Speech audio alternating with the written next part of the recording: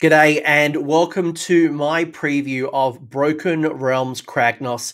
Uh, this is the fourth book of the Broken Realms series. Games Workshop was kind enough to send me this book, and I got it a few days in advance compared to it hitting on the shelf.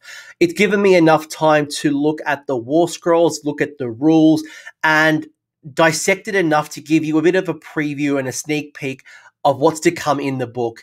Now, as always, and be mindful that uh, FAQs are to come, and probably more than ever, we've got Age of Sigmar third edition coming. So when I go through the rules and I go through some of the things that are being previewed, I guess I felt it quite difficult to prepare and understand truly the impacts of some of the war scrolls. We saw updates to Alarielle. We saw an introduction of uh, a new mega hero in Kragnos. We've seen an update on uh, Lord Kroak. There's been so many things that have changed that some of the things you just like, what's the real benefit? Am I paying too much for something? So I'll share with you the observations that I'm seeing for Age of Sigmar 2, some things to consider for Age of Sigmar 3, and uh, hopefully inspire some new list ideas for when the new book drops. So without further ado, let's actually have a look at what Broken Realms Kragnos is going to share with us. So, Broken Realms Kragnos is going to give us a whole bunch of things, and much like the Broken Realm series that have happened before us, we've had Morathi, we've had Teclis, we've had Be'lakor. Each of the books are a narrative supplement that's going to touch different armies in different levels. Sometimes you'll get big changes, sometimes you'll get minor changes. And the armies that are most impacted is going to be destruction, and that is obviously through Kragnos being across the entire Grand Alliance of Destruction. You're also going to get new champions, new updates, new a whole range of things. So Gloomspite Gitz have a whole bunch of new allegiance abilities. When I say new, you know, it's like a highlight, underline. If you didn't see the White Dwarf releases in 2020, um, you this would be new to you. There's a whole bunch of new rules for squigs, trogs, and for spiders. If you were a part of the White Dwarf rules in 2020, um, it is it is being brought over, and there are some updates to to the rules. If you are a Sylvaneth player, there's some cool stuff coming for yourself, both in a battalion form, an update to Alarielle, but also a new war scroll. Uh, the Seraphon got the, the Lord Kroak, and uh, I think it was just Lord Kroak. Um, Skaven got some new allegiance abilities and got an update as well from a battalion. And we also got two War Scroll updates in the Beasts of Chaos as well as a battalion. So there's a lot going on in this book. Let's actually have a look what you're going to get. In addition to Cities of Sigmar. that's not there. But Cities of Sigmar um, actually got a whole new city as well. It got the city of Excelsis, which um, is going to bring not just a new bunch of rules, but you've also got access to two new heroes, um, which is the the van the van um, Dance, I think it's called. Yep, the Vengeance. So you're going to get a whole bunch of new rules there as well. Uh, in addition to all the narrative stuff, um, I'm not going to spoil the narrative. Uh, I'm going to keep all of those spoilers, the realms of battle, um, all of the things that kind of come there. I'll, I'll avoid. So let's start off with the Big Daddy Cool himself, the ender of the uh, the uh, Empire, the Kragnos himself, Big Daddy Cool as I've called him. So Big Daddy Cool is indeed cool, but he is coming in not only with a dense war scroll, but a big fat price of 760 points. And Kragnos is a massive model. He is the size of a mega gargant, um, and he's quite an imposing figure. So a very large base, very large model, and pretty cool if you ask me. He is able to be brought into any destruction army, which is which is going to be handy for some people, maybe less handy for others. But if you do bring him into your army, he can't benefit from the allegiance abilities, um, but he is treated as the general in addition to the model that you are choosing normally for your army. So that will come into a play for a few different reasons, and maybe AOS 3, it'll be worth even more. We've started seeing that as a theme. Um, Nighthaunt has brought in a whole bunch of those types of rules. Um, other armies are, are starting to bring in certain named characters or certain heroes that are counted as general in addition. So we'll, we'll kind of keep that in mind. But for me, Kragnos is is coming to the army loving his ABCs. And if you don't know your ABCs, it is always be charging. And Kragnos has 18 wounds. He has a two up armor save, uh, 10 inch move, no mortal wound save. So he's got not going to have a damage prevention when it comes to, to wounds and mortal wounds after that two up armor save. But he can ignore spells and endless spells. So a really cool rule with the shield is that if Kragnos is affected by a spell or an endless spell, you get to roll 3d6. And if that dice roll is greater than the casting value, he's going to ignore the spell completely. But that doesn't mean he can step over endless spells. So for things like Soulsnare Shackles, which um, could potentially pin Kragnos down. Um, unlike a Mega Gargant who can step over, say, Soulsnare Shackles, um, you just get to ignore the effects, but the model is still there. So do keep that in mind. Uh, it is one of the quote unquote counters that people have talked about very early on, despite him not hitting the tables just yet. But when you look at Kragnos's rules. It is, a, like I said, a very dense war scroll. I'm not going to put everything up on the page, but a couple of callouts that I would make is that, you know, he's quite brutal from a melee point of view. His profile is quite consistent. There's a lot of damage coming out of the profile. He's got range of, um, he's got a, a, at least one range three attack. It's also got rend three as well. So you can really expect some, uh, some heavy damage output from, I think it hits on threes and wounds on twos for the entire stat profile. So, you know, consistently, it's going to do a lot of damage. On top of that, where you're probably going to see a lot of damage is what's on the screen here, which is the rampaging destruction ability. Kind of ties back into that always be charging rule, because that's really what you want to be doing with Kragnos. And when you look at the rampaging destruction, there is two options. So basically, if Kragnos makes a charge move. Um, you get to either do one of two things. Option one is to roll a dice for each enemy unit within one inch of the model, and on a two plus, is going to do d6 mortal wounds. It's a pretty big base, so that's going to be nice. If you charge a whole bunch of different woo- uh, units, or there's a couple of support heroes in addition to the, um, the the unit that you're charging, you could potentially do a lot of damage. You're kind of spreading it out. Option two, and probably the one you're going to see more of, is you uh, if you if you charge and you charge into an enemy monster. So if there's an enemy monster within one inch, you roll two dice, and if you roll a seven, a combined seven, nothing happens when you roll those two dice.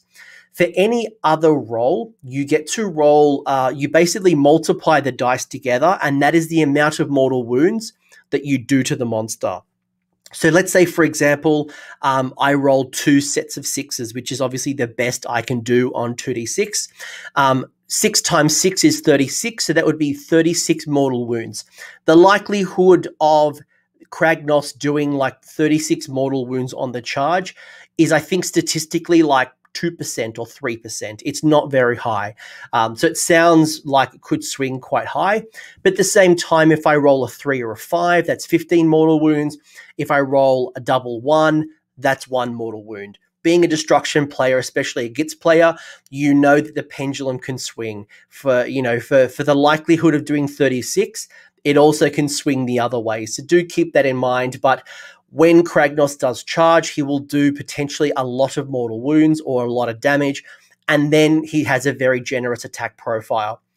On top of that, you're going to get some cool bravery things, and for some armies, bravery is not going to be that important. I know for my Gloomspite Gitz, I'm thinking about maybe how I can tap into the plus one bubble in addition to the damage output that Craggy's going to do. Uh, yep, that's right. I call him Craggy. I'm going to have Scraggy, Skragrott the Loon King, and Craggy Kragnos. And um, but for most for most destruction armies, you're probably not going to build a strategy around plus one bravery. We don't know if inspiring presence is going to change. We are seeing a whole bunch of new armies with new models with bravery benefits. So we don't know what's coming in AOS 3. I wouldn't build a strategy around it, but plus one bravery is nothing to to sniff your nose at. There are some interesting rules, and I mentioned earlier at the start that there are some things that don't quite make sense. And there are two things on Kragnos' War Scroll that don't quite make sense just yet. One is the ability to destroy terrain, especially when it comes to what's called defensive terrain. And we don't have defensive terrain in, in Age of Sigmar 2. So that could be a rebrand of garrisoning, it could be something more keep your eyes on that for, for AOS 3.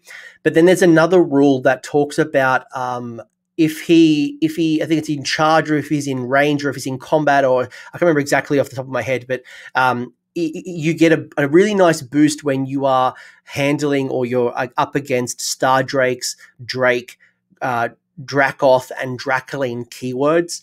So you know, there's not a lot of Star Drakes in, on the tabletop right now. Stormcast are not really taking it. I haven't really seen a Dracoth, Dracoline, or a Drake for some time now, but who knows what is going to be in the Stormcast, the third edition version of Stormcast Eternals. Maybe it is very Drake orientated, and this could be a really nice counter to Stormcast. We don't know yet. In addition, I am recording this video um, when Games Workshop have previewed the new hero and monster reactions. So there's going to be some nice little boosts that you can apply to Kragnos potentially, and there might be all stuff coming down the line.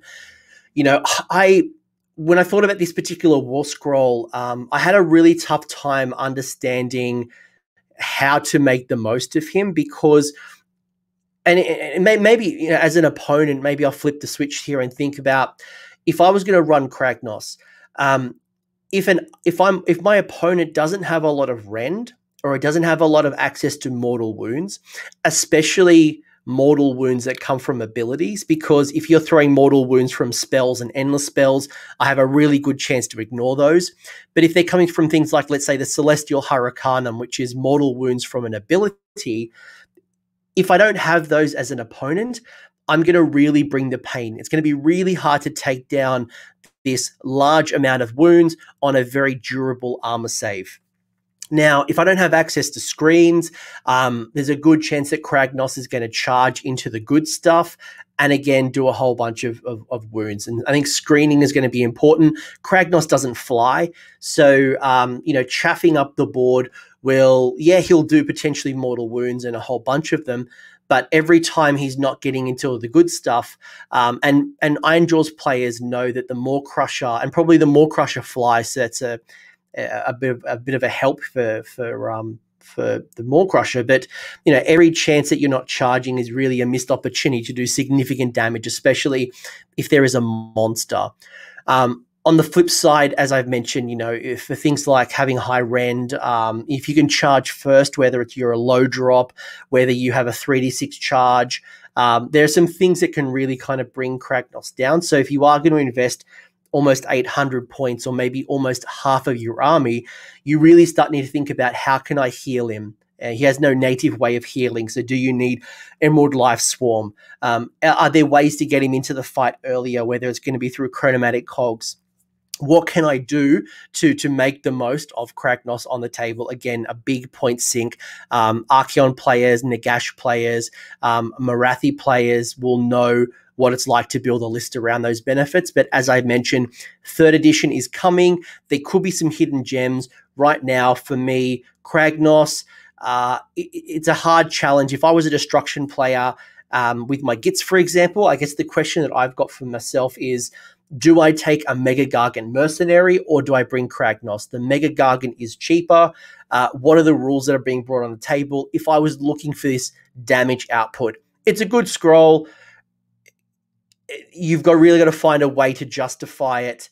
And I think for most people, though, there's just going to be better options within, uh, again, a Maw-krusha, a Mega Gargant, Uh, a Stonehorn, something's going to be a lot cheaper that could do similar things that you wanted to do. But look, let's see what happens with third edition. I'm not ready to write it off just yet, but for, for almost 800 points, it's a big question mark on how do I make the most of Kragnos. Talking about destruction armies, we do have our Gloomspite Gitz, and the first thing I'll mention is that the Loon Shrine has had an update. So Um, I mentioned earlier that uh, pr- uh, the White Dwarf rules from there were three different White Dwarfs, right? There was, uh, and so that's why I say generically the 2020, right? Because in it was 2020 that they brought one month was focused on something called the Jaws of Mork, which is all about additional rules for squigs, etc., etc previously your your uh, your loon shrine which is the terrain piece for Gitz only focused on stabbers and shooters. Yes it gave a bravery um, buff to to your army within 12 anything with gloomspite keyword but basically at the end of your turn you could bring back um, a unit of stabbers and shooters the the grots. Um, you could bring them back at half strength on a 4 plus which was nice but if I'm a Trog player, it was useless. If I was a Squig player, it was useless. What they've done with the 2020 expansions is each of those months brought in a different set of rules. So now what I can do is if my general is a Spider Fang general, so it's got a, it's got the Spider Fang keyword, an Arachnarok Spider, for example, a Web Spinner Shaman. Um, what it would allow me to do is I could bring back Spider Riders instead. So I don't get to bring back Stabbers and Shooters. My general is Spider Fang. It means uh, at the end of the battle round, uh, or at the, sorry, at the end of my turn on a four plus, I can bring back Spider Riders at half of the unit size. I think it was rounding up. The same is true with Squig. So if I'm a Squig player, uh, I could bring back Squig Herds, Squig Hoppers, and Boingrot Bounders um, that were destroyed on a 4 plus, and they come back at half strength. They've got to be set up uh, I think it's wholly within 12 of the Loon Shrine. So you're bringing them back in your side of the table.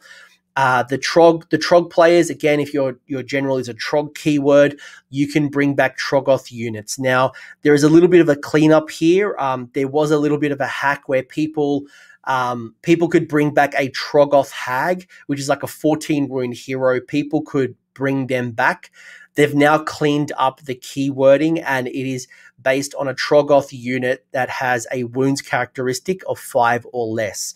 So you can't bring back your Troll Hag, but you will be able to bring back your uh, your Fell Waters, your Rock Guts, and your Dankhold. So either way, regardless of how, how you picked your general, and if you're a Gitz player, if you are actually focused around stabbers and shooters, you can still bring those back if your general's going to be um, so you don't have you don't have to go down those routes you can still bring back those guys talking about those rules, you also then had your Jaws of Mork, you had your Glogg's Mega Mob, and you had your your Grim Scuttle tribe. So your Jaws of Mork are Squigs, your uh, Glogg's Mega Mobs are going to be Trogs, and then your Grim Scuttle tribes are for your spiders. There is no additional rules for your uh, Moon Clan Grots. So if you are a Moon Clan Grot player like I currently am, um, there are no benefits there. But um, when you look at the sub allegiance, they're all going to get uh, an ability, a command ability, a command trait, an artifact, and one to three battalions depending on where where you are. A couple of key callouts that I would make. I'm not going to go through every single thing. We'll, come, we'll, we'll be here till the cows come home. But the Jaws of Mork, your Squig, your Squig army. One of the things that I've really enjoyed, and I've actually played this, is that the running riot ability allows you to re-roll the movement characteristic for your friendly squigs. This is massive. Majority of squigs, other than I think it's a squig herd, uh, is a randomized movement. So if you don't like your movement characteristic, you can re-roll it. And it's cool because it even benefits things like the colossal squig that has like a 4d6 move, which is really sweet. On top of all of that, um, the rule called "Get Some Loonshine Down um, it allows your uh, your Mangler Squig to fight on the top of its damage profile. So um, the Mangler Squig degrades pretty quickly, and you know the last thing you want to do is be in combat in uh, is it five to seven? I think that's the it's like a roller coaster, right? It starts off really good. In the middle of the damage profile, it's hot garbage, and then as it's about to die, it gets good again. So using a command ability to be able to um, to fight at the top bracket is really powerful for a Mangler Squig. You want it to fight as, as healed up as possible. So that's awesome. Um, and I'm not a big fan of the artifact. Uh, the battalions have some good use as well. The Mega Mob, the Troggoth build. Um, two callouts I would make there is that the Monstrous Regeneration ability gives you a plus one to the dice roll for your Troggoth regeneration. So when you look at the War Scroll of a Troggoth, uh, your Dankhold, your Fellwater, and your Rock Guts, they normally heal on a four. So getting plus one to that heal will mean that they're healing um, on a three plus.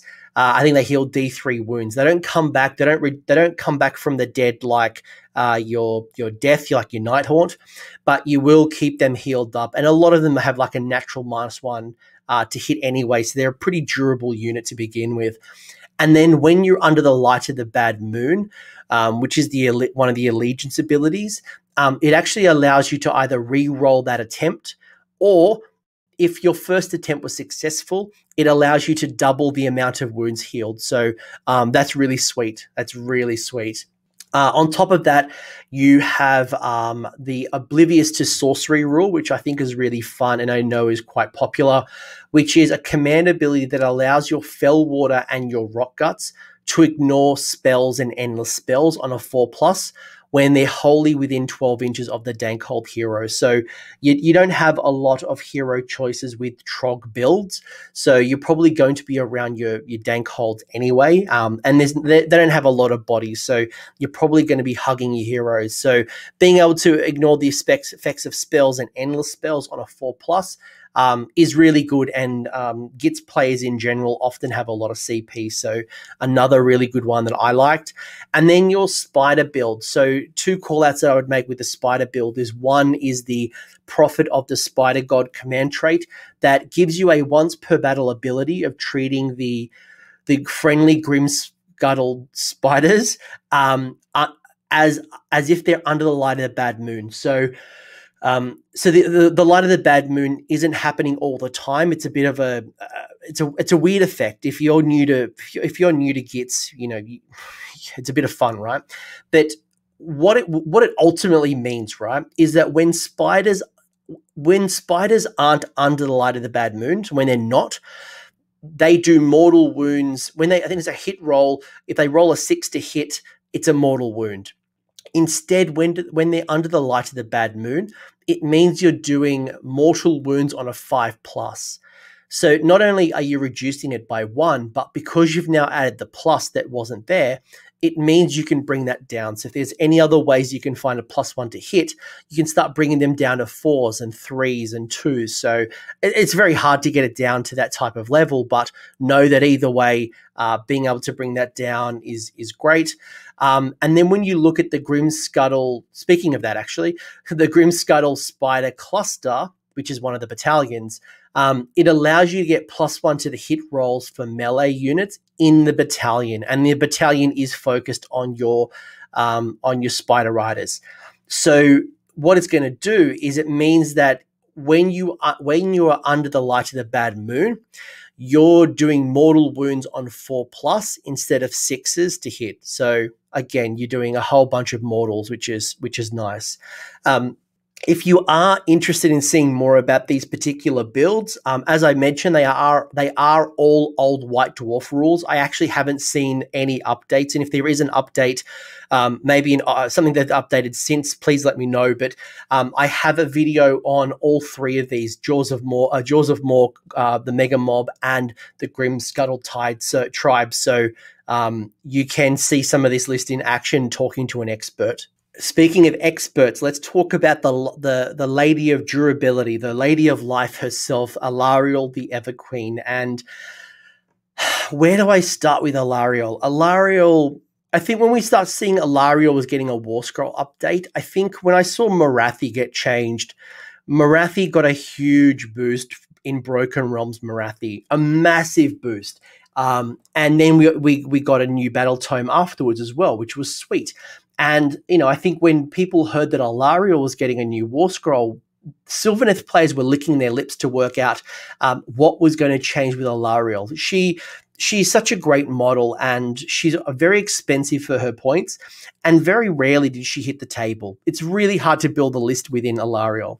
So what has changed? First off, there's a big change, and that is her points have changed from 600 to 740. And I'm sure you're thinking, Anthony, She wasn't hitting on the table at 600. How on earth is she going to hit at 740? And it's a really good question. One of the reasons that I think her prices, her points have gone up, right, is first off, she gets to summon units. We know that. She can bring off a unit of Kurnoth Hunters. She can summon a whole bunch of things, which gives her a bit of durability. You can almost build those points into her points. So those points of the units she can summon into her um, into her points, which is why she's so expensive. Cool. Put that to the side. She's still a bit pricey. One of the things that happened in the new update with Alarielle is that she became insanely durable like crazy and durable. And one of the reasons she's become, uh, you know, very, very tough to take down is there is a tweak that's on the screen, which is the life bloom. There's been a big change to life bloom. And the old life bloom just used to heal a bunch of Sylvaneth units. So she would she would um, she would get D three wounds to heal on units that were wholly within thirty, which is great. It's going to heal up a bunch of Kurnoth hunters. It'll heal up some of your, your heroes like Drycha. Awesome. But the big change that's happened is that she also now heals herself, and she is going to heal herself 2d6 wounds. So if you look at that war scroll, uh, it is we, obviously you could still roll two, right? And then she's not going to be that durable. But you know, there's a, a, lot better chance of keeping her on the table.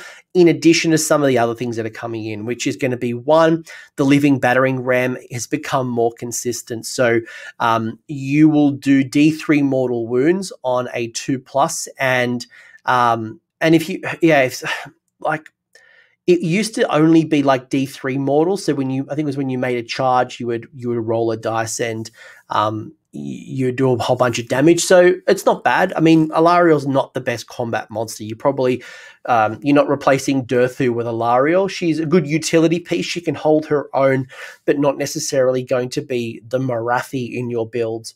Her core stat profile, um, like the move, the save, the bravery and her wounds kind of stayed the same.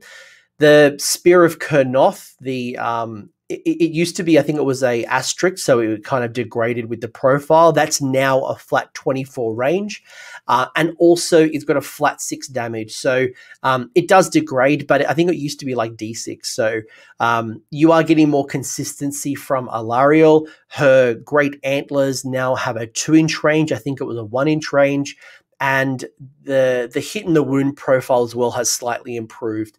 She gained a rule called Swirling uh, Glowspite that allows her to retreat and shoot, or retreat and charge, or both. You can do you can do the retreat and shoot and or charge, which is going to be getting her out of combats, getting away from certain things, or um, you know, it's obviously hard to maneuver. She's got a massive base, but being able to to better position Alarielle, and I, I, get the feeling they're trying to get her more into combat, where previously she would kind of be sitting in the back waiting to pick her battles. There is a uh, once per game summon, which we've already spoken about. There's been minor changes to the Talons of Dwindling, which, um, yeah, and and it looks like the command ability has, has, has stayed the same as well. So I think is it the um, and I think Metamorphosis, the spell that's on her, has um, is, is the same. I think, or there might be a minor change. So majority of the stuff really came around the survivability and the durability, as you can see on the screen, the or the various wall scroll changes. Nothing massive, um, and for me, this was hard to judge the War Scroll because we are on the eve of AOS three. That's that's for me. It's really hard. You know, she went up in points, which is you're like, oh, far out. I'm not going to take her ever. But if the if the whole game changes in its points, and basically, you know, she's basically like for like, just in the new kind of structure, um, and she's now become more durable, especially with the healing um, does this incentivize? And we again, I mentioned we've we've seen new monster and new hero reactions. So does this become more viable in your builds? 740, I talked about it with Kragnos. It is quite high, and you really want to build around it. Um, will will this see her on the table? I think it's worth trying. Um, I don't know on the top tables at a grand tournament that she will be coming out. I don't think she's Morathi level. And you probably could argue that Morathi could go off in points, and maybe she will. Uh, we don't know yet. We don't know what AOS three is going to look like, but um, I, I, would I wouldn't write her off just yet. Um, right now, AOS two, I would probably not take her. Um, I still probably wouldn't take her. I'd rather take um, the new unit, and I might as well talk about that now. And that is the war the Warsong Revenant. Um, and there's the this is the new Sylvaneth unit that's come in at 275 points. And what do you get for your 275 points? You're going to get yourself a seven wound leader. Um, it's not unique and it's not named, which is great. So, you know, and I think about this like, right, what is this going to do? And what's the benefits? And I'm actually surprised. This what not only is this a really nice model, but um, it's like half the size of the Eidolon. It's actually quite a large model. I was surprised how big the model actually was. And for my 275 points, I'm going to get myself a double caster. So it casts two spells, but it only can unbind one spell. So that that two doesn't go into the unbinds. Um, when the Warsong Revenant is within nine inches of an awakened Wyldwood, um, you're going to get plus one to the cast, which is going to be really nice. Uh, and that'll become more important as we get into the next part of this. But um, in the meantime, the Warsong Revenant also knows um, a signature spell, which is a uh, Unleash Swarm of Spites, which basically casts on a seven, and we know that we get plus one to the cast if we're near an Awakened Wyldwood. But what happens, and this is a really interesting one, is that when you roll a dice that's equal to the casting roll, and let's hypothetically say that we just rolled the seven, we we just got the spell off, we hit the seven. Um, what happens is um, the the number of the, the casting value becomes the amount of dice that I'm going to roll. So in this case, I rolled the seven to cast the spell. So I'm going to get seven dice, and I'm going to roll those, and uh, I'm going to roll them for each enemy unit that's within nine inches. And I think it's on a five plus. It does a mortal wound. So you know, I'm probably going to on, on seven dice. I'm probably going to average three wounds, which is not too bad. But that's to every unit within nine inches. So this is not going to be a wizard that's at the backfield um, throwing spells from 30 inches away. This is a wizard that is going to be in the middle of the table, in the thick of things. Um, obviously, not going to be Durthu, but it's going to be in the action somewhere. It is under 10 wounds, so that's important. Uh, and it's important because the Awakened Wyldwoods also got an updated War Scroll. So your terrain piece has changed slightly, and I'll, I'll talk about that in a minute. The um, War Scroll, War Song Revenant also gained a four plus damage prevention roll. So yes, it's on seven wounds, but um, you'll be able to protect yourself quite well in with wounds and mortal wounds. And because it's under 10 wounds, you're also going to be able to um, use Lookout Sir. So, should you have the um, the Warsong Revenant near, let's say, Dryads or Spite Revs, um, you're going to get minus one to, to the shooting attacks should someone try to shoot you. You also get to have a bravery buff. So, you get plus one to the bravery to Sylvaneth units within 12 inches, which is okay. I mean, Dryads or Tree Revs or Spite Revs Kurnoth hunters, maybe.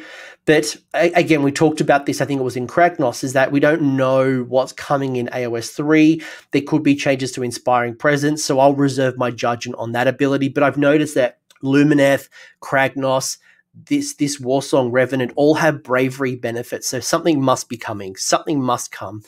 The model also has the access to the Lore of the Deepwood, which is the Sylvaneth spells, and that's actually written on the War Scroll.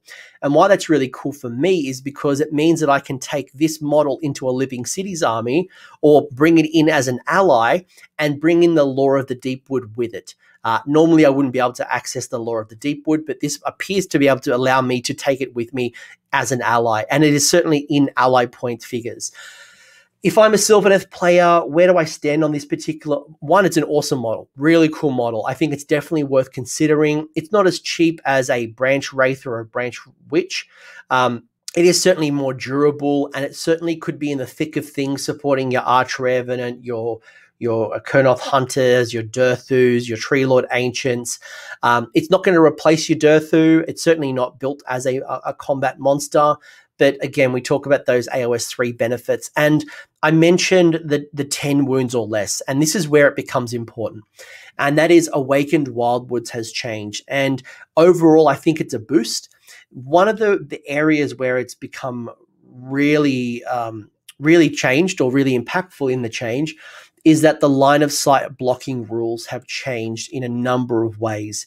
Previously, it was super annoying. You could put a branch wraith or a branch witch or a, um, even like a, a tree lord ancient in the middle of a wild woods, especially when it teleports, and you wouldn't be able to see out. So it means that Kurnoth hunters uh, who are sitting in the woods, even though they are they are built and they live and they are from the groves, they could not see out of these trees. We always grinding my gears. But now what happens here is that if you have 10 wounds or more, you don't gain the benefits of line of sight blocking. So I think I think the Tree Lord Ancient, for example, or you know anything that has more than ten wounds is um is going not going to have line of sight blocking from this. So okay, not too bad. Remember our Warsong Revenant is seven wounds. And if I'm reading this correctly, it means that if I've got my Tree Lord Ancient who's got more than 10 wounds sitting in the uh, the Wyldwoods, it means you could see me. But the Branch Witch or the Branch Wraith, you're not going to be able to see me.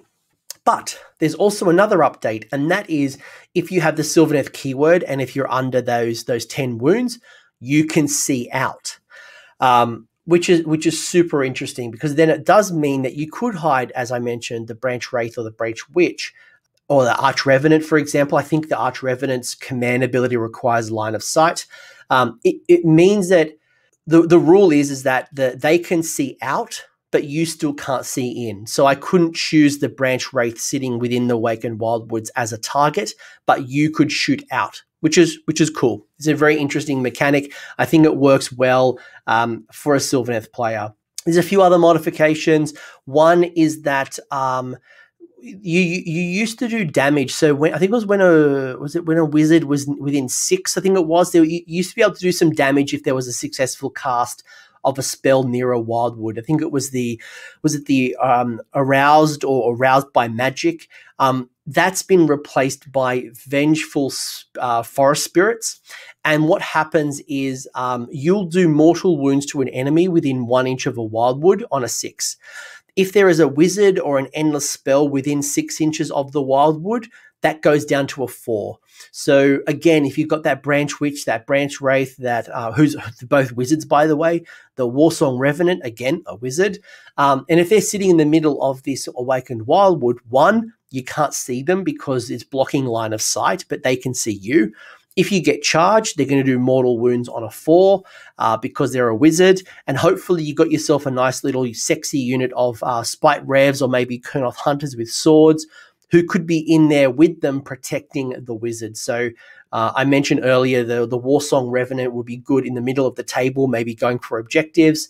Um, this kind of complements it, maybe as the, the the Wyldwood that you summon on the table. Overall, it's a nice little boost, I think, and maybe you want to get yourself a you know a spite spite spite swarm hive. Um, which is one, you know, a very useful endless spell, being near a wyldwood, supporting your Kurnoth hunters, lots of different list tech you could be thinking about. You've also got yourself the Sylvaneth Battalion. So they've walked away with one battalion, and that's Drycha Spite Grove. Uh, comes in at 120 points, and it requires you to take Drycha and two units of Spite Revs. So you're challenging yourself against Outcast. And the, the main benefit, obviously, other than the command ability and the lower drops, is that you get to put Rend on the, the Spite Revs. So if you are looking, and there's not a lot of rend in Sylvaneth, um, which is again why there's so much pressure on people like Drycha and your Kurnoth hunters to do damage because there's not a lot of rend outside of that. But it is a alternate build to Outcast, and Outcast is super cheap. It's it's one of the reasons why people take Outcast. It's probably the cheapest battalion to get your battle line, to get your units, and get the lower drops. But if you don't want to take three units of um, of of spite revs, if you were looking at taking Drycha, I think this is a decent battalion because you're getting rend.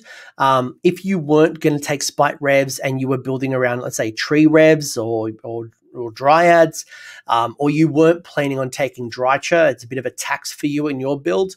Um, then this is not for you. But I think this has some legs um, for those people who want to use spite revs, and spite revs are cheap at the moment. Speaking of cheap or maybe not so cheap, we've got two new heroes. And I say cheap because um, they are cheaper than a Keeper of Secrets. And you've gained yourself two new heroes. You've got um, Dexcessa, I think it's called. I'm sure you're going to let me know if I haven't got that correctly. And Synessa. So, so I'm going to call it Dex and Siness and they're both gorgeous models. They're just awesome models. Um, so much so that as I was preparing this kind of video, I was actually really tempted to buy a, a Slaanesh army. They are sexy as hell, and when we're talking about the Dexcessa, which is the Talon of Slaanesh, this is the more of the uh, the expensive build, um, only slightly, but she's coming in. Uh, they are they sorry they are coming in at 280 points and it is more of the combat orientated.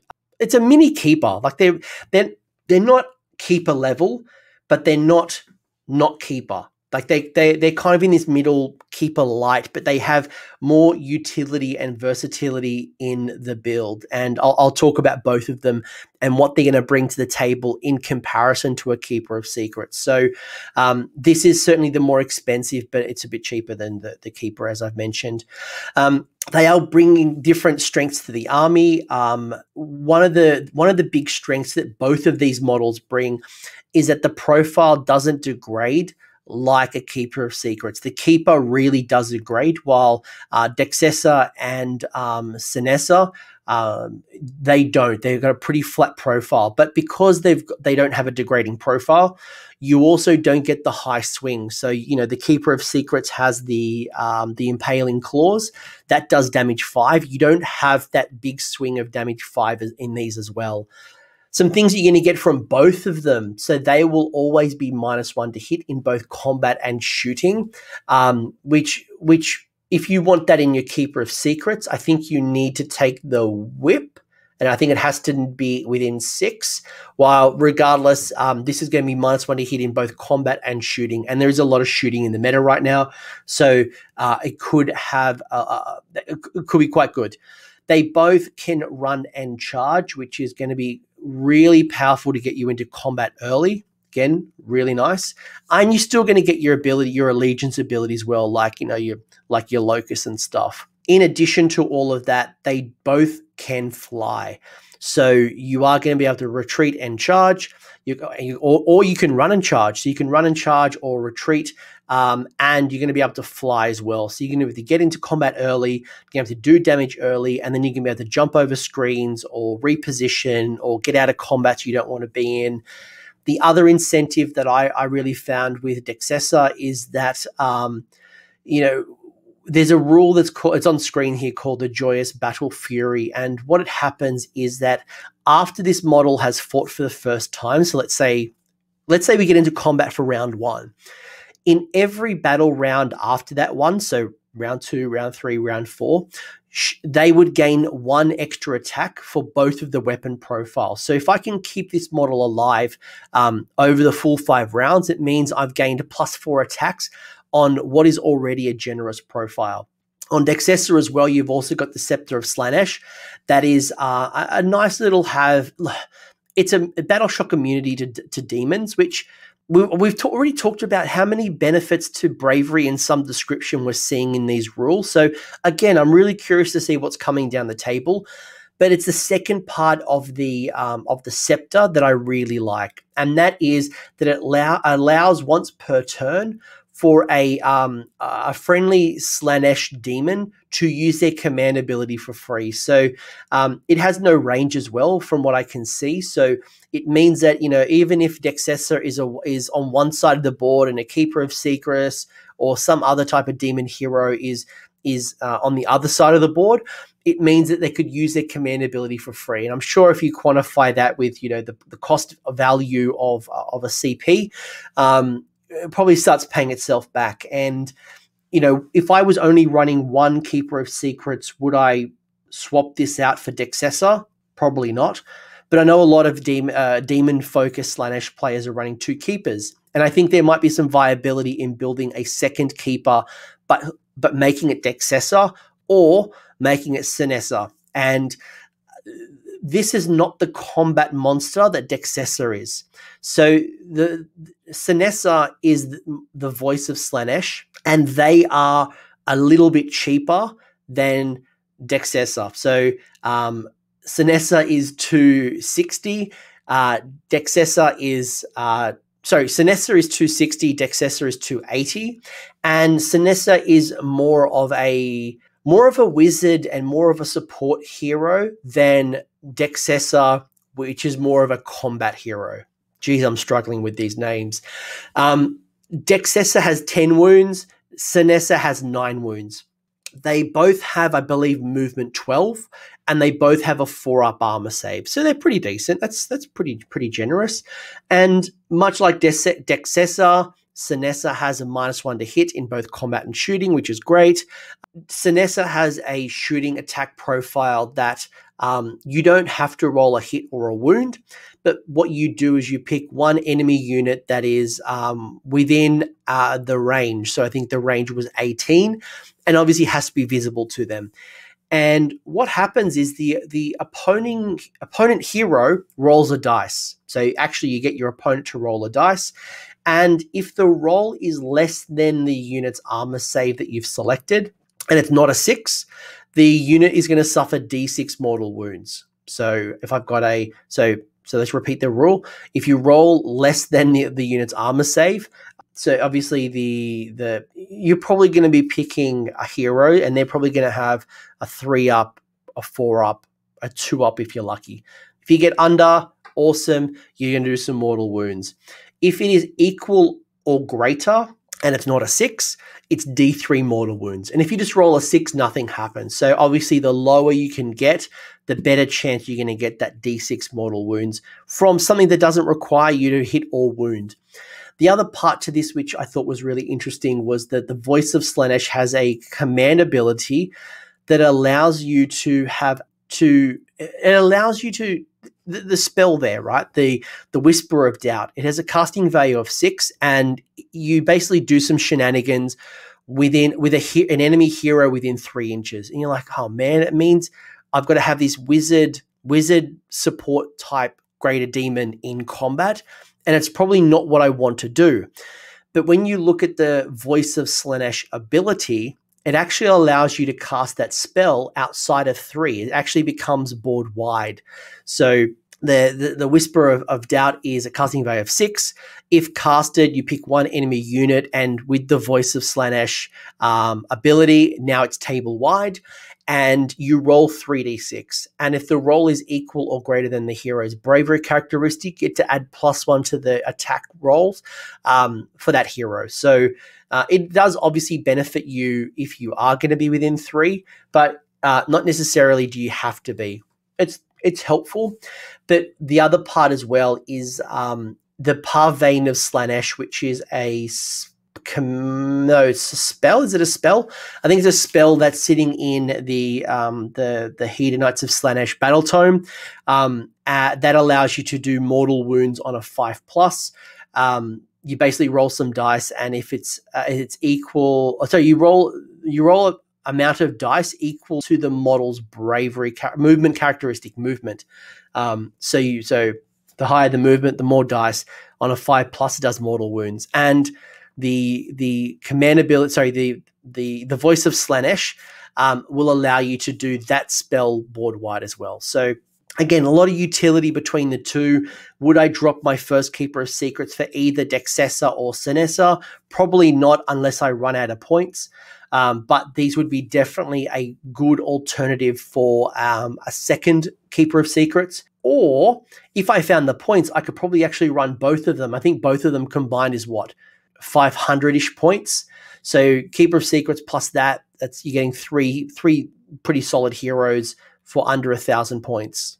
You got yourself also a battalion, and it's an interesting one. It turns the contorted epitome into a unique named hero. Uh, it comes in at 130 points, and it also requires you to take a unit of fiends and a unit of seekers.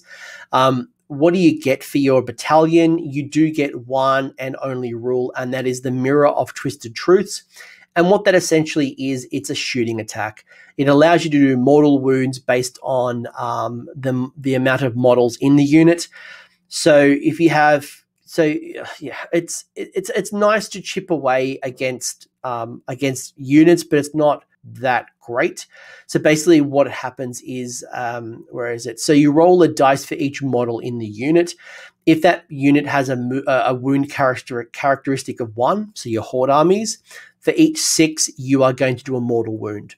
If the unit has more than one wound, so they're two wounds, three wounds, four wounds, etc., etc., you roll those dice, uh, and then for each six, it will do D3 mortal wounds. So it could be nice to start clearing out or, or getting rid of some of those eels um, especially those defensive pesky eels that you can't choose normally as a shooting target and they ignore rend so a nice way to get rid of some things like that your your fiends and your secret unit choices are an interesting one because you know looking at some of the ways that new Slaanesh players are building around the their their new Hedonites rules Fiends are starting to come back. There is a bit of a bit of a movement. Some people are liking the the minus one to cast for enemy wizards within 12 inches and the minus one to hit in melee. So that can be quite nice. And you know, when you combine that with Glutos, for example, they can start becoming minus two, um, which is pretty pretty nice.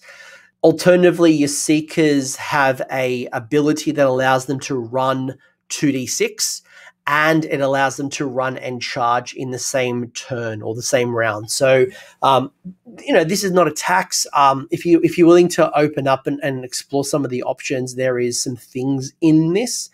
Um, but when you start then adding all the points up, this is your keeper points. These are your Glutos points. These are your Sigvald points. However, you're building your list around, it's obviously taking up your points. But if these are things that you were already thinking about, or maybe you're already taking two of the three, it's definitely worth considering because that shooting attack um, is, is, is decent.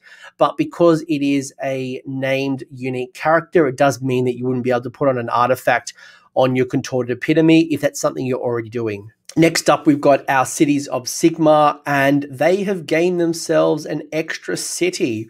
And that city is the city of Excelsis.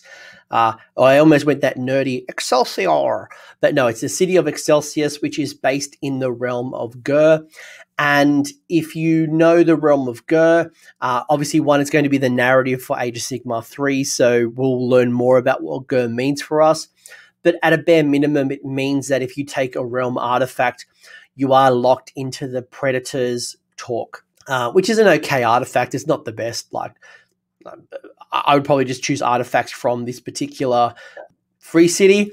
But uh, Excelsior follows the theme of Settler's Gain. If you looked at Broken Realms Teclis, you would see that um, the city allows you to take the rules from your Cities of Sigmar battalion, so your uh, Ways of the Free Peoples, which allows you to have like your amplified sorceries, which basically means that your endless spells are better and it would say like empowered by the realms. Um, you do get you things like your adjutant, your your wise counsel. So um, if your general has six wounds or less, you can pick um, a friendly hero to be his homie, and uh, that wise counsel homie will give him a command ability if he is within three inches of the general. Uh, every hero phase on a four plus, you get that extra CP, which is nice. Um, and you can also take a an honored retinue, which is a basically a, a, a bunch of bodyguards where you can bounce mortal wounds off so long as that unit has 20, 20 wounds or less or 20 uh, models or less. Uh, you can also obviously bring Stormcast in with the Stormcast keep. So if you choose Excelsis, it means you get to keep those, which is great. Um, in addition, you are one obviously coming from Ghur, put that to a side but you get two other things. You're going to get yourself the gift of prophecy, you get yourself the command ability, and you also get three command traits, three artifacts, and three spells to choose from. So you're going to have some some some juicy things to pick from. When you look at the the command traits, you're going to get uh, uh, we got one of three options, right? You get this retreat and charge for your general, um, and I think if that if it if it does charge after retreat, it becomes minus one to hit. So pretty nice for like your your dreadlord on black dragon or your free guild general on griffin or something um, the other the other two one is a, an ability to redeploy D3 units at the start of the first battle round, which I thought was interesting. A very uh, old Barak Zilfin type thing, almost where you can uh, realize that you have you know not you've been baited or you know you need to put some support somewhere else you could redeploy some of the units. I thought that was an interesting mechanic. Uh, and then the other one is you can stop an enemy hero from using their command ability if they're within three inches of your general. So you'd need a super durable super fast um, you'd need some type of again dreadlord on black dragon free guild general on griffin style hero to that could get into three and deny your your um, enemy hero using command ability, which could be really good. Actually, it could be really good, but you'd have to build a really defensive um, general, in my opinion. You've also got, uh, actually, speaking of defense, you've got three artifacts to choose from, and I'll be honest, I I did a massive dance. I, I, I basically did like the electric boogaloo when I saw the artifacts on offer because one of them was the Gryph-feather Charm. That's correct, folks. The formerly maligned sorcery Gryph-feather Charm that gives your your bearer minus one to hit and plus one movement is back, baby. Uh, forget the other two. We have Gryph-feather Charm and it's back. You also got three spells to choose from. Uh, my favorite would be a spell called Cower, which um, casts on a six.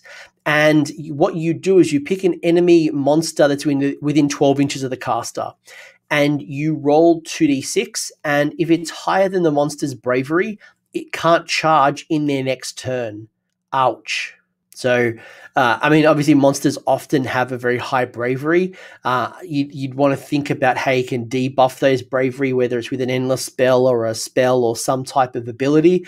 But, you know, being able to stop a monster from charging could be really nasty. Although I think my Mega Gargants are like bravery seven. So, stopping a Mega Gargant from charging, I would cry. Your command ability allows you to bounce some mortal wounds um, from the unit if they roll a six to save. So when you when you roll up your saves, if you roll a six, you'll do I think it's one mortal wound for every six you roll. Okay, it's all right, not too bad. Um, and then there's also this gift of of prophecy, which I think is a really interesting risk versus reward kind of mechanic where um, once per phase when you have a friendly unit to shoot or fight, you can say that the attack is going to be prophesized. So um, it's going to happen every time, well, sorry, every phase. So in the shooting phase and the combat phase, uh, I believe in both turns because it just says once per phase, right? It doesn't say friendly phase, it doesn't say your phase, it's just phase. So you've got a phase, and let's say it's a shooting phase. I can choose to use the gift of prophecy. If I do so, I roll a dice. If I roll a one, my shooting unit that I'm rolling for is going to be minus one to hit themselves. So um, if I normally hit on fours, I'm now hitting on fives. If I'm hitting on twos, I'm now hitting on threes.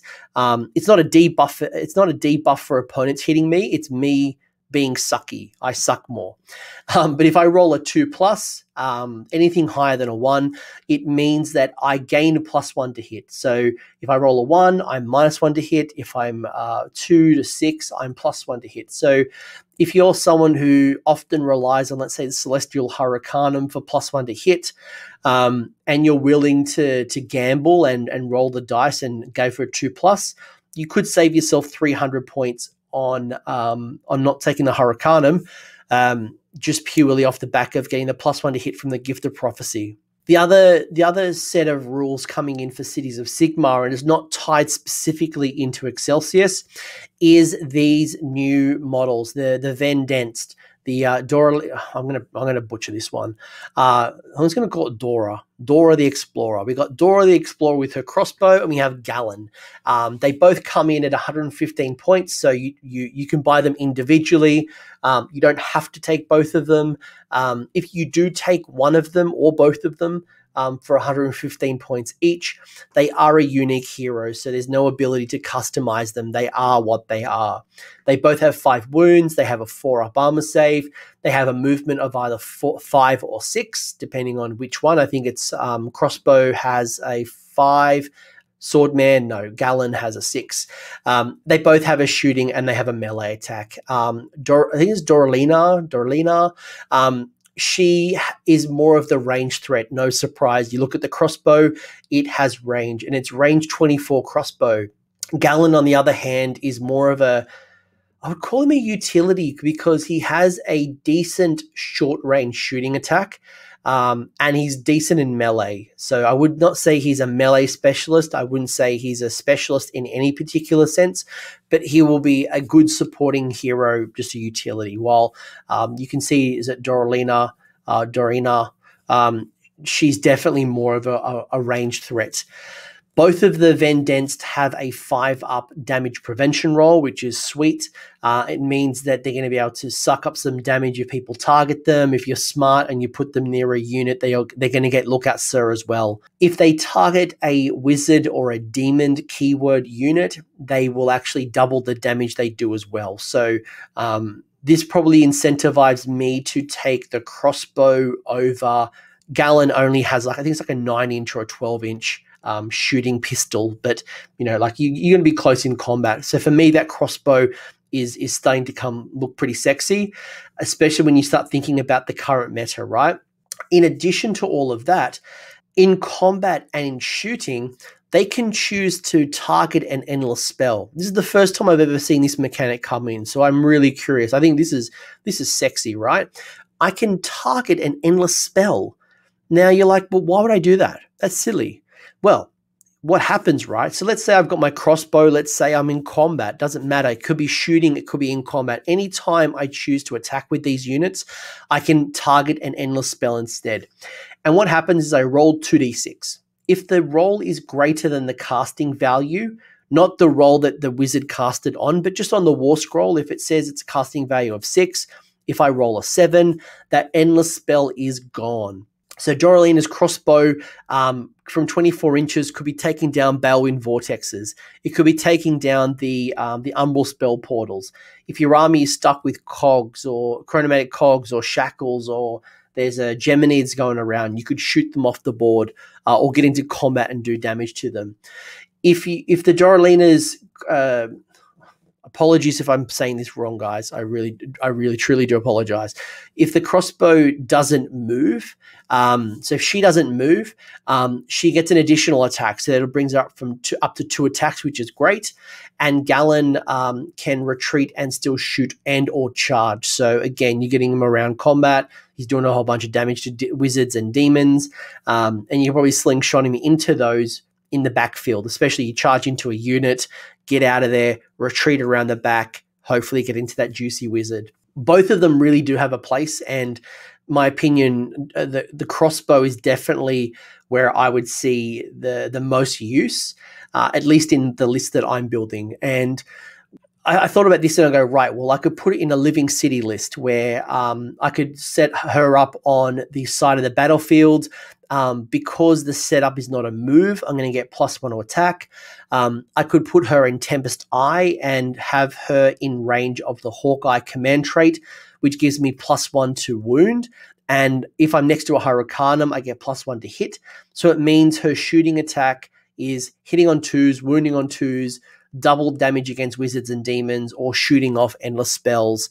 Um, even the the Excelsis prophecy rule, you know, getting the rolling that dice and a roll of a two plus, um, I get plus one to hit. She could be a really good candidate for that as well. So either way, interesting interesting models, and I think for 115 points, getting this durability of a five up damage prevention as well, I could see her in a lot of cities lists. Galen, mm, I'm not. I, could definitely see crossbow in the list. Um, Galen, not so much. Oh, here we go. Lord Kroak himself. Um, Seraphon did get a brand new model. They got Lord Kroak. He has been replaced. RIP Finecast Lord Kroak. We have a new model and a new war scroll to go with it. The points value of Kroak did go up.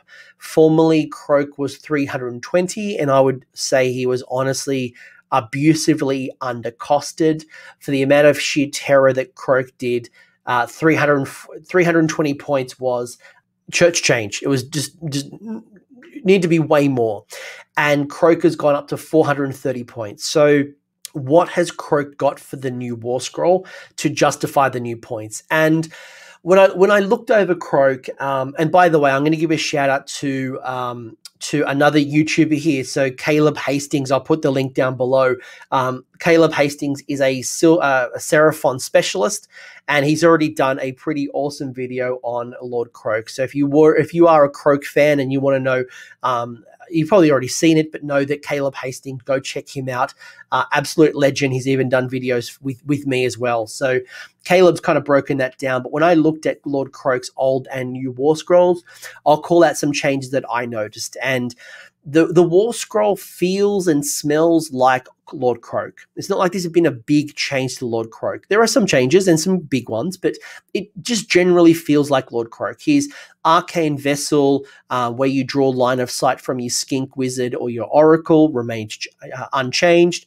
The Azyrite Force banner is mostly unchanged, but it did get a minor boost where if you have a enemy monster within the, the counting range, is going to count as five models. So that's a little boost. You get your Celestial Deliverance and the Comet's Call, those two signature spells that um, everyone knows. They appear to be unchanged, so there's no changes there.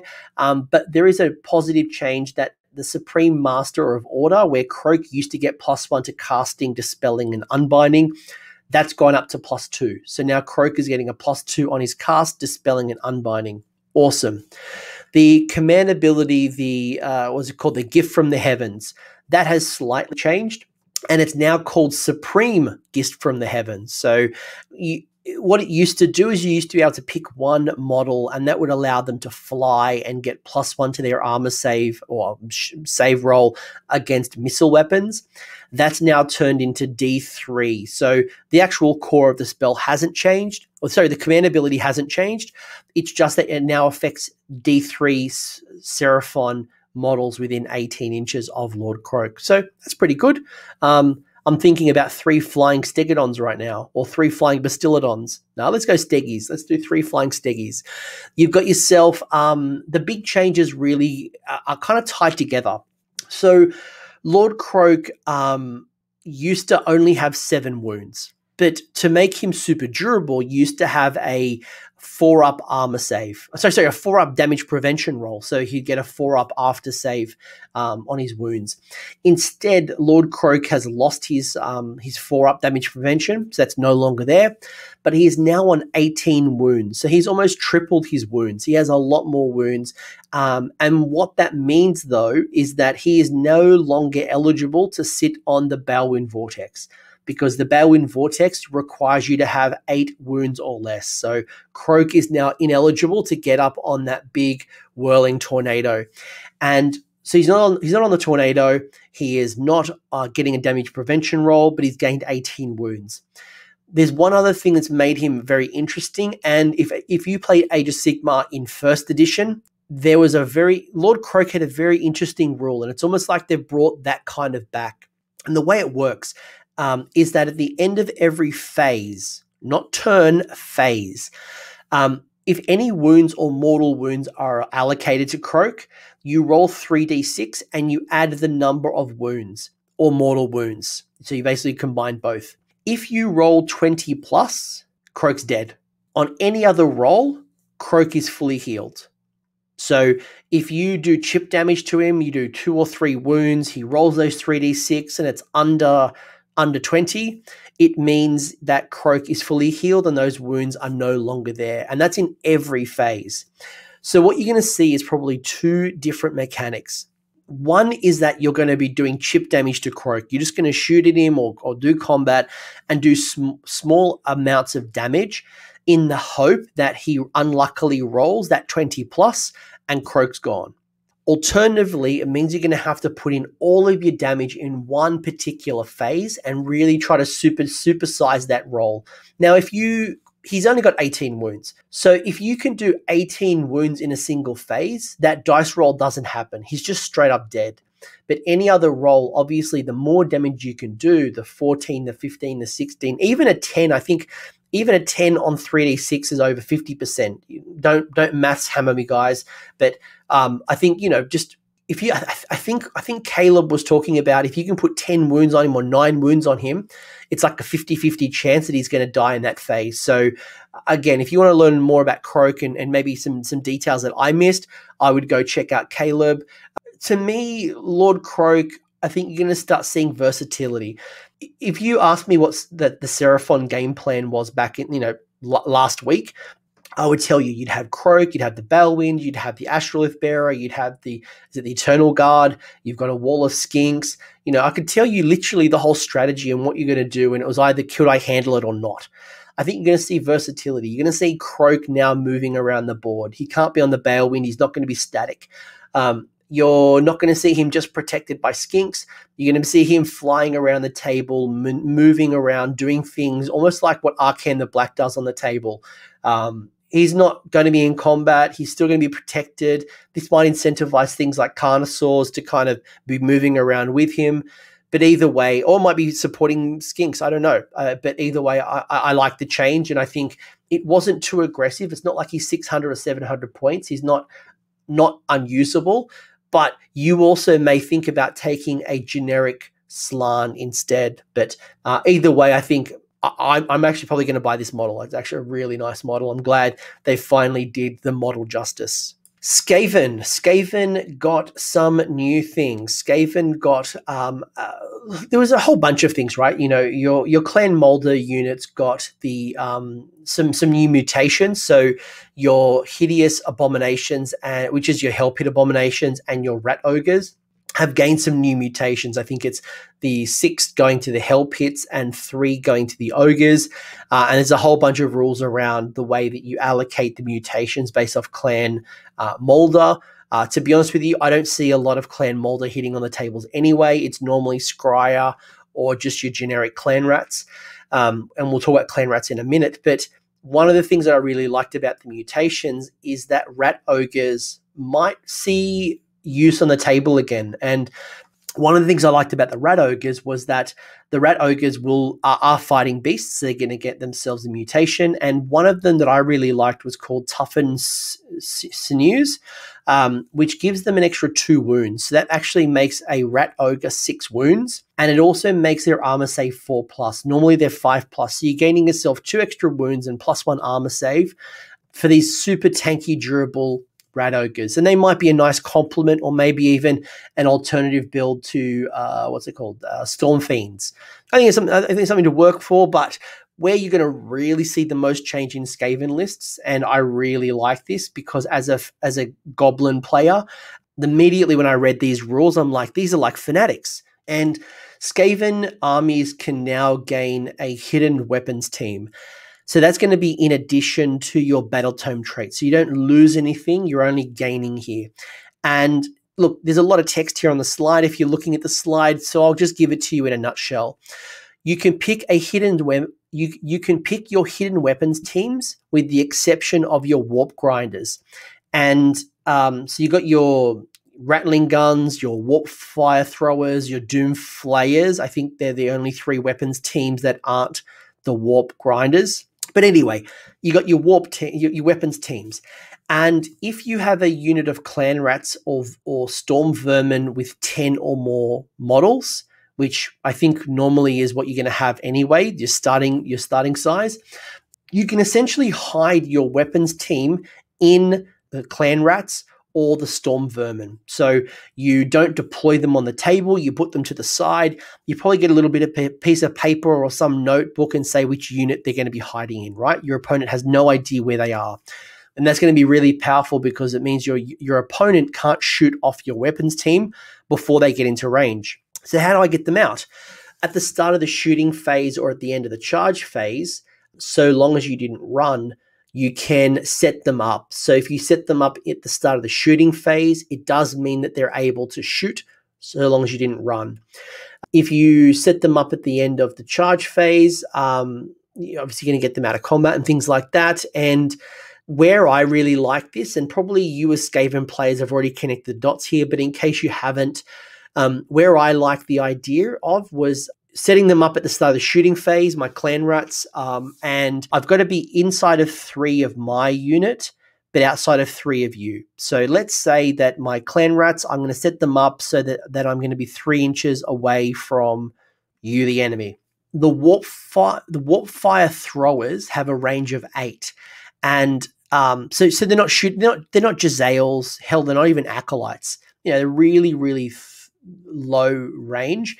And if you pop them up in the front, it means that um, because because their range attack is interesting, right? You do damage based on how many models are within the shooting range. So um, you would count up the amount of models that's within essentially the eight inches, which would be five inches outside of your three, and you'll do mortal wounds. And you can double down there if you use the more more uh, warp fire that's on the uh, the war scroll and that would do two hits instead of one. So you could really burn an eight, and you could probably double down. I think I think they clean Skryre as well, so you might be able to use one of the command traits, or there might be some more more things you could do if you had a clan Skryre uh, general or a hero um, within range of your warp fire throwers. But either way. Hidden weapons teams are sexy as all hell, and I can't wait to see Skaven players using that. Speaking of Skaven, you've also got yourself a battalion. Um, this is an interesting one, the battalion. Got yourself a Warlock Bombardier, uh, which is a named unique character, so you can't put a command trait, can't put an artifact on them. You've also got yourself a Warp Lightning Cannon and a unit of Storm Fiends. And I'm not sure about this one here, guys. Maybe you'll tell me otherwise, but I saw this and I thought myself maybe the Warp Lightning Cannon was a bit of a tax. I mean, unless you wanted it, right? Because there is no benefit to having the warp lightning cannon in this battalion. There's literally no benefit. Your bombardier is going to get to re-roll its hit rolls for the Doom rocket, which is good because the Doom rocket hits on a four, um, and it does mean that the damage profile becomes a plus one. So it'd be D6 plus one damage um, should you get it through. You obviously could use the Clan Skryre uh, Warpstone Spark to add more damage to it, but getting a bit more consistency from the Doom Rocket is nice, as well as that your um, your Warlock Bombardier is probably going to have to follow your Storm Fiends because your Storm Fiends will get plus one damage for the Shock Gauntlet. So they're your combat. Uh, weapon choice, not your shooting, it's your combat, your, your shock gauntlets. Um, and the shock gauntlets will do plus one damage if they're within 12 inches of your Warlock Bombardier in the battalion. It's not too bad. I don't, I don't mind that. Uh, but the reason I said that the Warp Lightning Cannon is a tax is because the abilities have no effect to it. So, um, which if you were taking a Warp Lightning Cannon, great, you've got one. They're they're a bit inconsistent. Um, they, they, they, do some good mortal wounds from afar. Um, probably, it might be a bit hard to use the the last set of rules, the Warp Lightning teams with the Clan Rats along with this because Storm Fiends, especially if you're taking like blocks of is it what is it six or nine? I think they're units of three. Um, they do take up a lot of points, and then you're adding the battalion, you're adding the, the bombardier, you're adding the the lightning cannon. Then you're making trade offs elsewhere. But either way, you've got two good, interesting builds. Beasts of Chaos, you have gained yourself a whole bunch of new allegiance abilities, and um, these are in addition to what is in your battle tome. So you don't sacrifice your battle tome rules here, but you're also going to get one for your Gors, your war herds, and your thunder scorn. Your Gor one is an interesting one because it allows you to re-roll charge rolls for your friendly Gor units, but it's not Gor keyword. So it's not going to be your Ungors and your Ungor Raiders. It is purely Gor. So um, so you still get to use your Brayherd Ambush, you still get to use your Creatures of the Storm, your Blood Gorge, your Grey Phrase, but with your Gor Battle Fury, it's going to allow you to re-roll the charge rolls in the same turn they come in from reserve. So I played a lot of Beast of Chaos players. They set up a unit from um, from from reserve. It has to be outside of nine inches of an enemy. Uh, the likelihood of hitting that charge is like twenty five percent if you then lose the turn, you just get shot off the board. And it was just like, why did I even bother? So re-rolling the charge, maybe even add chronomantic cogs there. And um, you can almost guarantee a charge from anywhere around the board, um, which is really hard as an opponent to screen. So um, not too bad. I really like that one. The other one, and there's actually a battalion coming up soon, uh, is also going to benefit the war herd is that um, you're going to do some mortal wounds on the charge, whether it's going to be um, on a four plus or if you are a Warherd hero, or if you've got more than three models. So if you're like a big block of um, Bullgors, you'll do mortal wounds on the charge on a two plus. And then Thunderscorn, I'm not going to go through Thunderscorn. It's been like three or four years since I've seen Thunderscorn on the table. You can read the ability yourself, but there's a bunch of things. I mean, I like dragon ogres; they're cool. Haven't seen them in years. Your beast lord got changed, and there was a couple of changes. Actually, there's a number of changes on the beast lord. I think, yeah, it went up five. It went up five points. Okay, whoop de do. May, may, that might be the five points though that gets you over your points limit, and that might be frustrating, or it might actually be the five points that get you a triumph. I don't know. But what you will have happen to your Beast Lord is that you've lost your reroll once to hit because it used to have a rule around dual axes. So you still got your dual axes to attack. It's just there's no ability to give you the reroll the damage. You have gained a rule though that allows you to um, run and charge, which is um, very very nice. You also gain, uh, yes, yeah, so you get your run and charge, and that's really powerful as well because you've only got like a, a six inch move, right? Your, your six inch move is not a lot. So you want to get into combat early. The, there's that hatred of heroes, which is um, you, you've always had it, but it's been modified. And where it's been modified is that you score two hits um, on a six, as opposed to I think it was used to be able to re-roll two wound rolls. So there's a minor change there with that. And you used to have a command ability called Grizzly Trophy. It's still there. It's just no longer a command ability. So, um, so you don't have to spend a command point, which is helpful. What it does allow you to do, though, is well, what what you want to do with Grizzly Trophy is um, you want your Beast Lord to fight first. So you want to get into combat with multiple units. And what happens is if the Beast Lord can kill an enemy model in combat, your Brayherd, uh, I think it's within range, uh, 18 inches, is going to get plus one to their wound roll, which is good. I mean, your Brayherd is what? Your your Gors, your Ungors, your Tuskor chariots, um, your Tzaangor have the Gor keyword, so that would help maybe your Skyfires or your Enlightened or even your Tzaangor on foot. If you slay a enemy hero or a monster in combat with your with your Beast Lord, you'll also get plus one to hit on those Gors, Ungors, Bestigors, Ungor Raiders. I mean, they're not your Bullgors. You, you, I mean, your Gors and your Ungors are your screens, your chip damage. So it's nice. It's you know, it's not going to.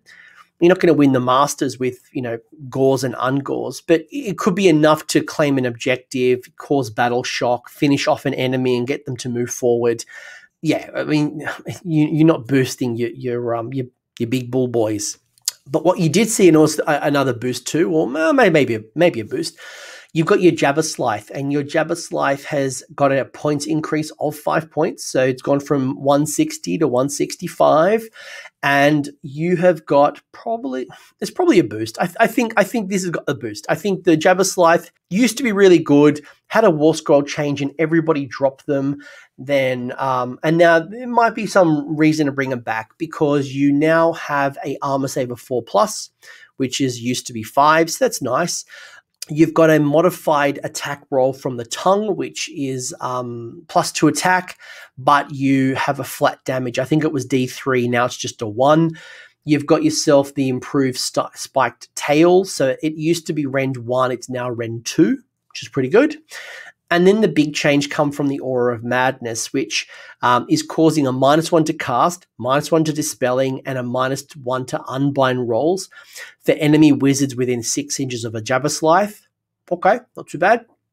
You probably want to go for those big wizards. You're not going to be able to get your wizards in the backfield, but probably your your hero wizards, you know, your vampire lord on zombie dragon, for example, might be a good target for this. But in addition to all of this, when an enemy is within three inches of the Jabberslythe, um, this is where the Aura of Madness kicks in, right? You get to roll 3d6 against the opponent's bravery, and um, if you are successful, if you roll higher than the enemy's bravery, it is is called the unit's deranged. But what that means is that the unit that is deranged gets plus one attack, which is a boost. You're actually buffing the the enemy to get plus one attack, which is which is pretty good. But the caveat is is that um, you if if you roll a one to hit, or they they roll one to hit, they'll do mortal wounds back to themselves. Now, what this might do is it might actually cause your opponent to to spend a command point to reroll ones to hit, because they don't want to roll those those unmodified ones. So you actually might get your opponent to spend a resource they didn't really want to spend. or at best they're going to take some damage back. So, um, and then if if you're taking if you're taking damage anyway from the plus one attack, um, you do have your bile blood that is going to cause mortal wounds back to your opponent on a four plus. So there's going to be a whole bunch of mortal wound damage happening, and you've also got the the one to cast, dispelling, and unbinding. So it's a unique it's a unique little piece, and with some of the monster rules that are coming, it might again be more useful. I think it's definitely worth considering as a debuff and as a just a monster that's running around the table doing its own thing. It probably doesn't need. It probably could go wizard hunting, uh, especially if we start seeing more mobile wizards. As I mentioned, Vampire Lord on Zombie Dragon could be a great example. We start seeing those types of wizards on the table running around the board who are also combat focused. Could be a good reason to bring in the Jabberslythe. Beasts of Chaos also got themselves a battalion, and that was the Butcher's Herd, and it's forcing you to take a named Grey Great Bray Shaman, um, the bull, two units of Bull Bullgors, and one unit of Ghorgon. Um, it's an interesting one. I keep saying interesting because I, I don't know if it's good or not. And, and I could probably say that across the entire book because we just don't know what's happening with Age of Sigmar 3 it, I think I'd be much more confident to tell you what's good and what's not good if this was in Age of Sigmar 2 and we knew that there was no edition coming for, for a year, right? We still had, let's say, you know, who knows what the scenario is going to look like. Um, all I can do here in this video is just present ideas and get you to think about what might be coming so that you're ready and prepared.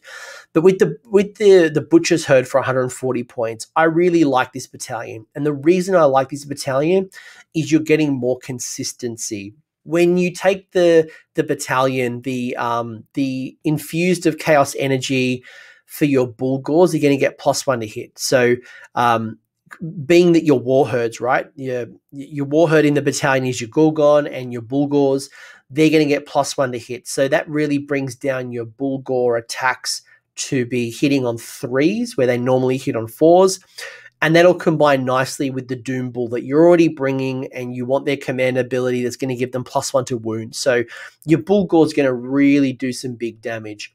The Ghorgon has always been inconsistent, and being as a Gargant player, I know how swingy these models can be.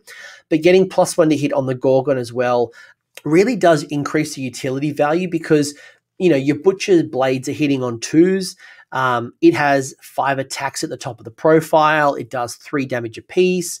Um, if you roll six to wound, it does D3 mortals in addition. So people, when they see your units of, of Bullgor and your Ghorgon, they're probably going to ignore the Ghorgon. most people will ignore, like they, they don't do it, like they don't normally do a lot. But wrapped up in this battalion, I think there's going to be more use. And I think with the consistency and not needing a command ability to get that consistency really does um, give it a nice little boost. The um, the the Great Bray Bray Shaman staff, I, I, I got I got caught out when I looked at that. I went, oh, the staff is a shooting attack normally. No, it's actually a melee attack. Um, I don't want my Great Bray Shaman in combat. I want it. I want, want it nothing near combat. So um, the staff getting plus two attacks is going to be nice if I'm trying to defend an objective and it's like a last resort. Um, but I'm not running that Bray Shaman up the board with my with my posse. Um, but I, am going to have to. But I'm, but if I'm going to tap into that plus one to hit from the infused with chaos energy, it does mean that my Great Bray Shaman has to be within 12 inches of the war herd. So it does mean that I'm going to probably going to need maybe a second Great Bray Shaman at the back um, with my with my terrain piece to to you know stabby stabby and sacrifice and you know take advantage of the summoning pool. But um, I, I I do like this mostly because of the consistency. The challenge with this particular battalion at the moment is that normally when I see Bullgor units or normally when I see them used effectively, you've got a unit of six Bullgor you don't often see units of three, which uh, or or you've got two units of three acting independently because you want to avoid battle shock. So, do you take a unit of six and a unit of three? Do you take two units of three with the Gulgor and the Great, Great Bray Shaman, and you're probably almost at a thousand points, or or at minimum you're almost at there with their with the the Doom. So it's a lot of points invested in here, and I guess it's like is the consistency worth it and and what are you trading off and probably you're just putting bodies probably on the rest of the board so I'd be curious to hear from you folk, especially your Beast of Chaos people, how you would think about this. Would you run two big blocks of Bullgors and just go double down on, on the War Herd? You know, having 12 Bullgors on the table plus a Ghorgon, that's that's pretty tasty. Or would you just go MSU and have two units of three I, I, I, don't know. To be honest, I, I would I, am a bit I'm a bit iffy on this one, but I'd love to hear from you. Which, as always, I would say that you know the true list tech is not going to really be uncovered until the frequently asked questions is released, and that's normally four weeks after it hits the shelf. But Age of Sigmar three is coming. I think I've mentioned it like a million times now. So who knows? One, when the FAQ is going to come out. Two when what Age of Sigmar 3 is going to bring and how that's going to change and what mechanics and reactions and battle plans and size of battle and points value. There's just so many things that could be possibly coming. But, you know, ultimately, uh, I've got this Broken Realms Kragnos. I've really enjoyed the book. I've only had it for like 48 hours, so I haven't gotten into the weeds. And I've started to think about my Gloomspite Gitz and think about what it could possibly look like with Kragnos. And I think there's some good stuff in there, but it does mean that I'm leaving probably my fanatics at home. Um, but I'm going to play around with some lists. I would love to hear from you what your thoughts are. Are you a cities player? Um, would you take one of the the Vendents? I still think the crossbow is just awesome. Um, uh, Dorlina, Dorlina, Daryl, Dora, the explorer, Dora the crossbow. Um, you know, I think she is going to be a great pick for for cities players. Um, Skaven, I think the Warpfire team or the, the War Machine teams are going to weapon the weapons teams. The weapons teams are going to be a great addition, especially with your your two, three, four blocks of Clanrats and hiding them and then jumping them out with their short range and maybe relying less on your your blocks of Jezzails or your acolytes. Um, what else? What else? Your Sylvaneth, I think Alarielle is an interesting one. I'll be I'll be curious to see how people play with Alarielle, but certainly the Warsong Revenant. Um, I could see a use for the Warsong, but then where do you get your points from? Do you drop Kurnoth Hunters? Are you uh, are you dropping your Treelord Ancient or your or your Treelord?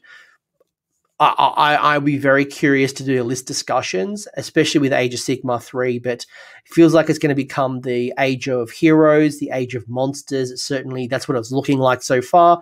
And a lot of this fits perfectly into that. But let me know in the comment section where you stand with this. Again, Thank you, Games Workshop, for sending this to me in advance. It gave me a, a, good couple of days to look over these rules before they hit the shelves. And hopefully, you have a better idea of maybe some of the lists that you will build um, from the different armies affected by Broken Realms. And if you enjoyed the video, as always, like, comment, let me know your thoughts. It's always appreciated.